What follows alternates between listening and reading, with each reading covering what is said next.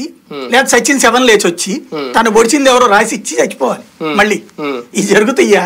ప్రాక్టికల్గా ఎంత సిల్లీగా ఉంటుందంటే అసలు ఆ వాదన చూస్తుంటే మళ్ళీ ఎవడన్నా చదువురాని మూర్ఖుడు ఎవడోలే అనుకుందాం అనుకుంటే మహామహా చదువులు పిహెచ్డీలు చేసిన వాళ్ళు అద్భుతమైనటువంటి తెలివితేటలతో అంటే గొంతుంది.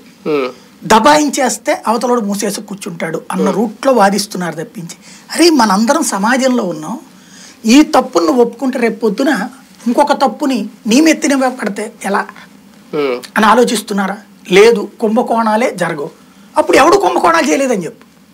తప్పులేదు. ఇప్పుడు ఏమంటారు వీళ్ళు? దాంట్లో "ఏ, అంత పెద్ద స్కిల్ డెవలప్మెంట్ లేకపోతే కష్టమండి. Hmm. అందుకని. ఓకే దెన్ అప్పుడు మిగతా వాడిని కూడా నువ్వు వేధించకూడదుగా? ఇవన్నీ లిబరల్ సార్ వదిలేయాలి.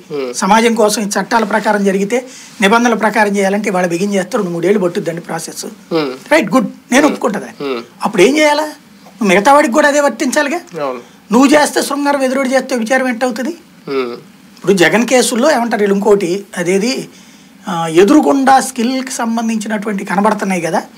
కాబట్టి కేసు ఎట్లా అవుతుంది అని ఇంకొక వాదన. ఇది కూడా చదువుకున్న వాళ్ళు బోఫార్స్ కుంభకోణం అని ఉంది. ఐడియా ఉంది కదా? అదే బోఫార్స్ గన్స్లో కార్గిల్లో గెలిచాం మనం. కాబట్టి కేసు కొట్టేస్తామా? ఇక్కడ ఏంటి వంద రూపాయల పని వెయ్యి రూపాయలు లెక్క చూపెట్టి తిన్నారన్నది. కేసు అది. రెండవది సీమెన్స్ అనేవాడు